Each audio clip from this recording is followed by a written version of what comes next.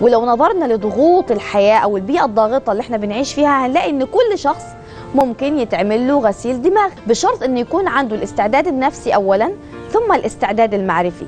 والاستعداد النفسي بيكون لشخصية تعرضت للحرمان أو تفتقر الحب والرعاية والكلمة الطيبة وتفتقر للشعور بالأمان النفسي. أما الاستعداد المعرفي هو الأفكار اللي مهما وصل لها هذا ال- الذي أمامك من العلم سواء كان مهندس أو طبيب ولكنه لم يناقش الفكرة ولم يحللها ولم يستنتج ولم يقرر بنفسه.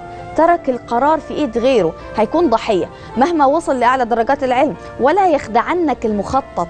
يعني تلاقي بعض الناس من ال من عامة ال- ال- الشعب يقولوا معقول المهندس آه، ال- البريء ده يكون إرهابي؟ معقول طالب في كلية طب أسنان بالجمال والبراءة دي يكون إرهابي؟ نعم قد يكون ذلك إذا فقد القدرة على إنه يفلتر المعلومات اللي بتدخل له إذا فقد القدرة على إنه يختبر ويحلل ويغربل المعلومة اللي دخلت له.